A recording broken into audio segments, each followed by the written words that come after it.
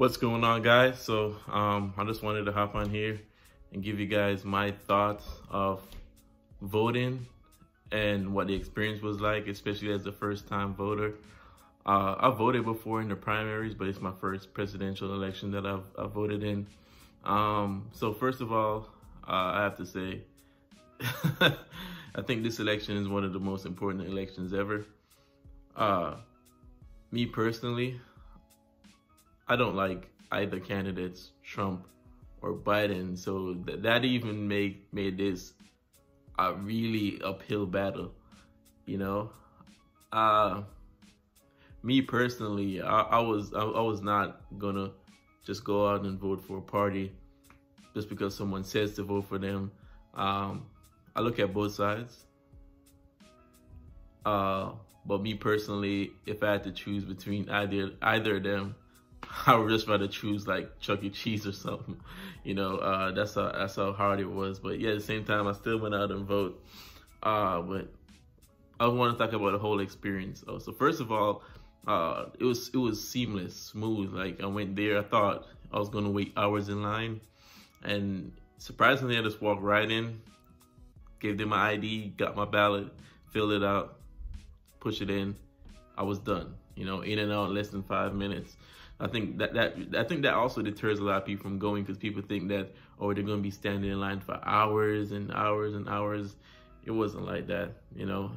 Um, I think maybe because a lot of people do, done early voting too, that had to do that had something to do with it. Uh, but yeah, back to this um, election. Uh, yeah, so I'm glad that I voted. Um, honestly, I, even now I was like, yo, I'm not gonna vote, but I'm glad that I did. And another thing too is how the polling stations have this bias. You know, like as soon as you go there, you have like a whole bunch of people there outside, and they're trying to like hand you like ballots, say, hey, these are all the Democratic uh, candidates.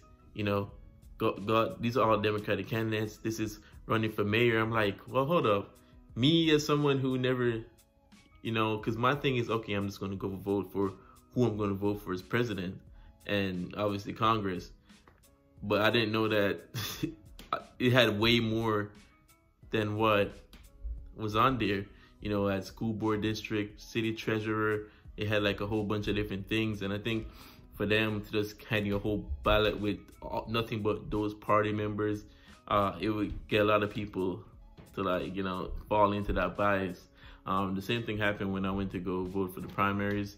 Um, while I was voting, like I didn't, I mean, once I voted for who I went to go vote for, uh, the ballots that were, there was like ballots like right there as you were voting, like some paper with like people's names on it. And then, you know, I feel, I didn't know anybody, anybody, I didn't know any one of them, if I'm be honest with you. So I just like fill it in, you know, give them a vote. I didn't know who they are. I think we need definitely need to get rid of that. But that's on my part too for not being as informed, I guess, you know, because people only go there to vote for the president, you know, but there's a lot of pieces that, that matters too that we got to be informed on. Uh, yeah, I don't want this video to be too long. I got other points that I wanted to say. Uh, hold on, guys. I'm really trying to get get get my train of thought, back. Oh yeah, and uh, as for the people who who said that oh they're not going to vote, um, their vote don't matter. Uh, I think that's wrong because uh, even on, on the ballot, there were questions on there that really had to do with where I'm from in Virginia.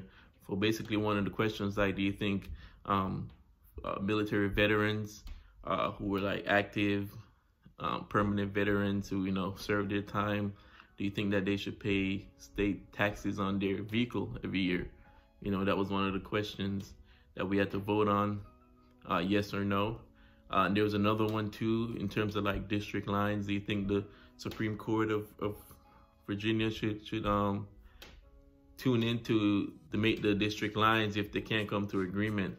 That was one of the other questions. And then there was like you know other people on on it, like I said before. Uh, but yeah, that's that's that's one reason why I think that it's important. You know, it's not about just the the president, you know, there's other pieces that you could vote for. So to, for you to say, hey, my vote don't matter, you know, I think that people voting hasn't been around long. You know, like people fought for my right to vote. You know, your right to vote.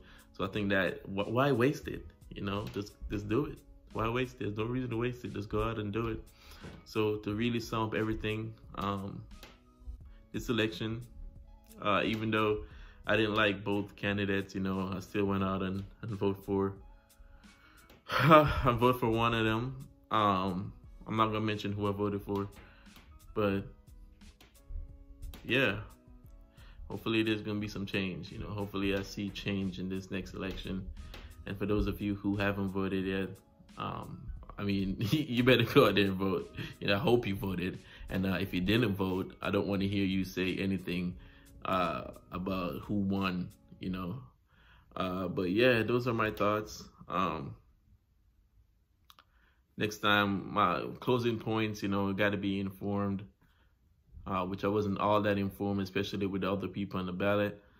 Uh, you know, you, you got to just go out there and do it.